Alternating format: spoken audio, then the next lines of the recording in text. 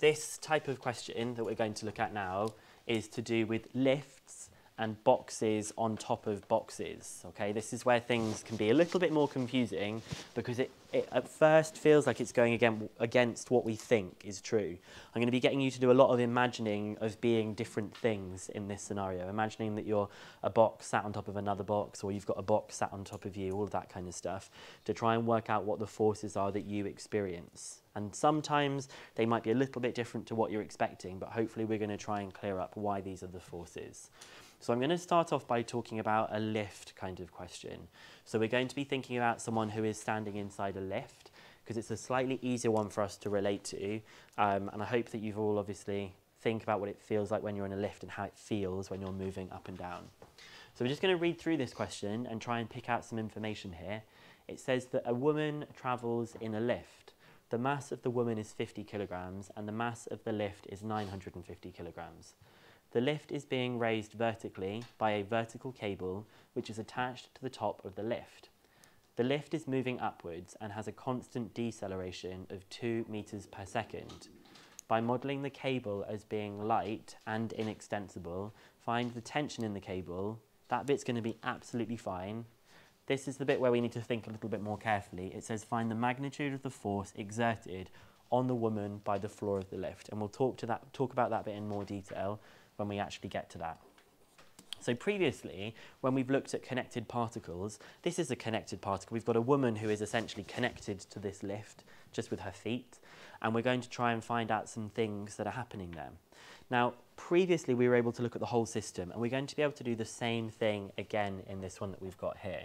So we've got a lift, and inside the lift is the woman, but really what we can actually do is just imagine this as one whole thing okay? This one whole thing that we've got has got a total mass of 1,000. So we should be able to just work out what the tension is going to be. Now we can either think, here's the woman's mass, which is 50, so the weight would be 50g. And the lift has a mass of 950, so its weight is 950g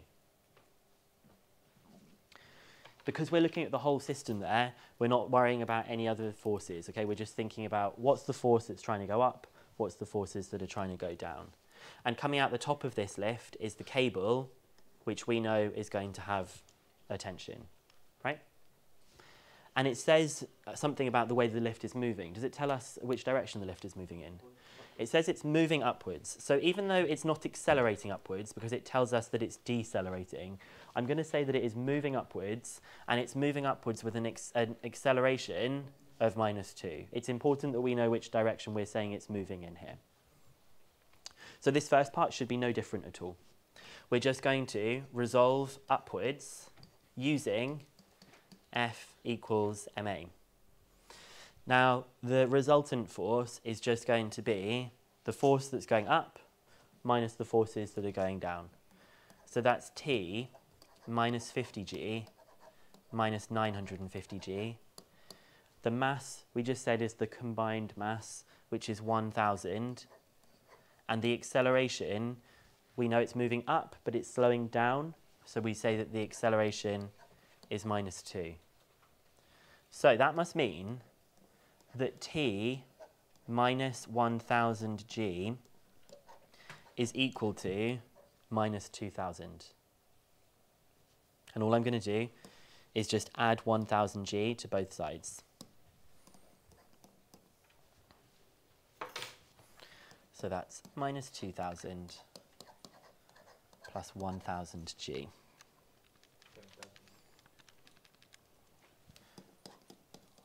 Don't really know why I used a calculator for that actually. So we have 7,800 newtons. Now 1000g whoops, haven't got an extra zero in there. 1000G is 9,800.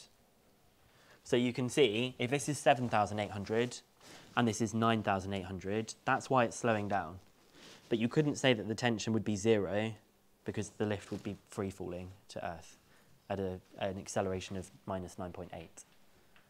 If we wanted it to accelerate upwards, getting faster, the tension is obviously going to have to be bigger than 9,800 to overcome that 9,800 force. and we would no longer have a negative value here, we would have a positive value instead. So here comes the bit that's maybe a little bit different, but you've all been inside a lift before, so this should be fine. We're now going to try and find out the magnitude of the force exerted on the woman by the floor of the lift. So what we're actually doing is we're trying to find the force exerted on the woman. So what we're going to do here is we're going to zoom in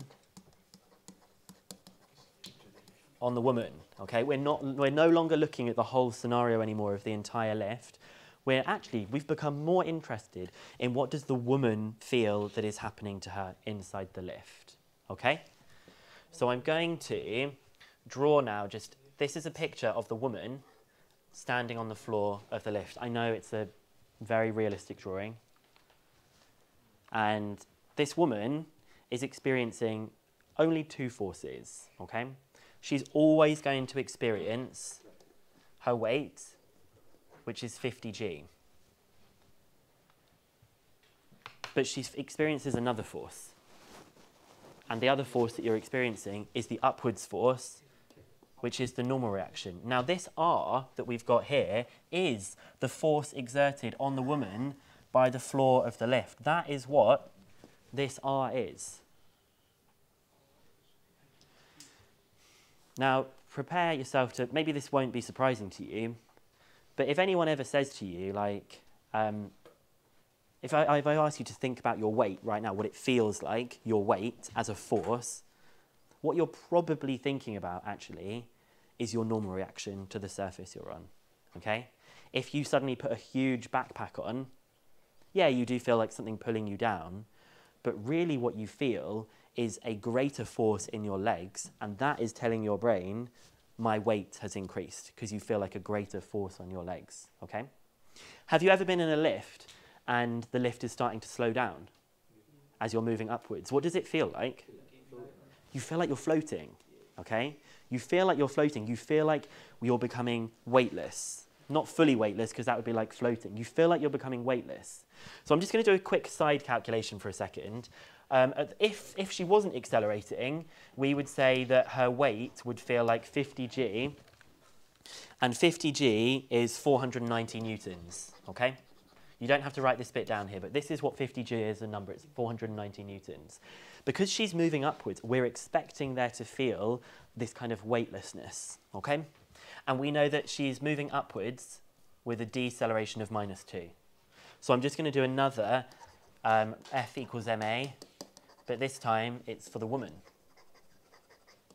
And so we get R minus 50g equals the mass times the acceleration. So we get R minus 50g equals minus 100, whoops. So R is equal to minus 100 plus 50g. So that is 50g. Oh, again, I could just do this on my, in my brain. So R is 390.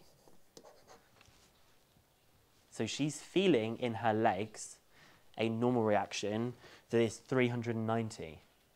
Normally, when she's just stood still, her legs feel a normal reaction of 490, which explains why Redwan says when you go up in a lift and it starts to, to decelerate, that's why you feel weightless, because your legs are feeling a force that they're not used to. They're normally used to feeling 490 newtons, and now they're, being, they're feeling 390, 390 newtons. And that's telling your brain, whoa, have I suddenly lost loads of weight?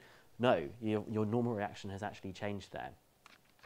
So what would happen if the lift was um, speeding up? Like, you know, when you get in the lift and you press the button and it starts moving, you feel really heavy, okay? You feel really, really heavy because if I just quickly like changed what this calculation would be, if this became a positive acceleration, it would have been a positive 2, it would have been a positive 100, a positive 100, and it would have become 590, and that's why you feel heavy. You don't actually get heavier, your legs feel like you're getting heavier.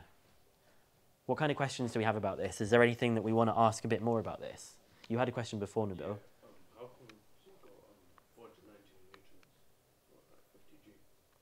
because, oh, 50 multiplied by 9.8 is 490. So anytime I'm using g here, I'm meaning 9.8, okay? And that just comes from our formula that we say that weight is equal to mass times g, where g is 9.8, okay? So I'm going to get rid of all those blue bits just so that we know we're actually answering the question there. So 390, that's less than what her normal normal reaction is, her regular normal reaction is. So that's why she feels weightless when it is slowing down. Looked at the whole lift, zoomed in on the woman because of the forces that we were asking about here. Okay? I'm going to separate this again into another video because